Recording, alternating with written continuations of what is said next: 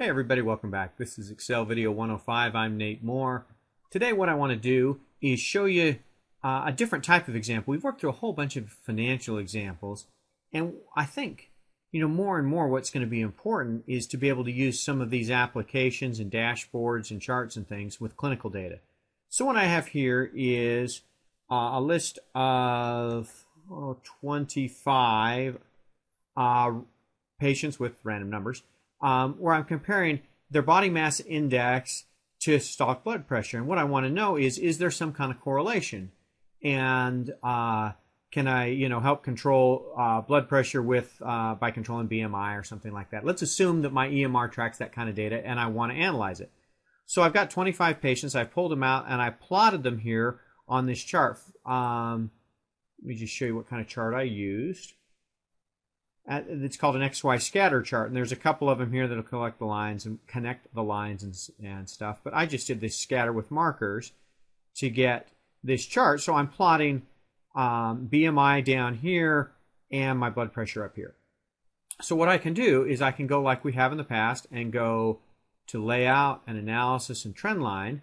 And let's go to more trend line options and say, well, we want to do a linear trend line because our, the relationship appears to be a straight line.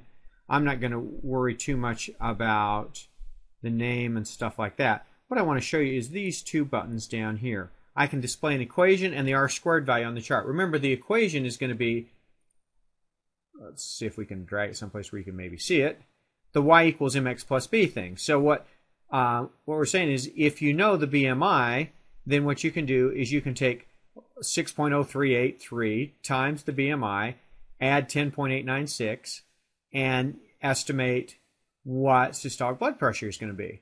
And what the R squared number says is, remember that's on a scale from 1 to negative 1, 1 being perfect correlation, negative 1 being a perfect opposite correlation. When one goes up, the other goes down by the same percentage.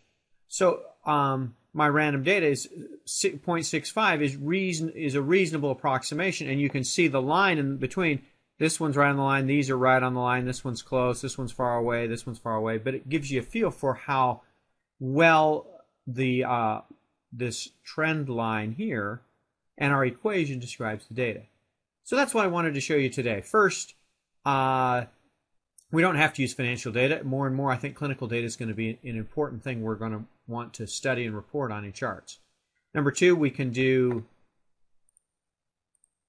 a XY scatter type chart for this kind of data, and I think that's appropriate for the kind of data we're looking for. Third thing I wanted to show you is from the trend line, you can plot not just the line, but you can put the equation and the R squared value right on the chart. So as physicians look at this, they can say, how accurate is our, is our trend line and how close are we in describing it?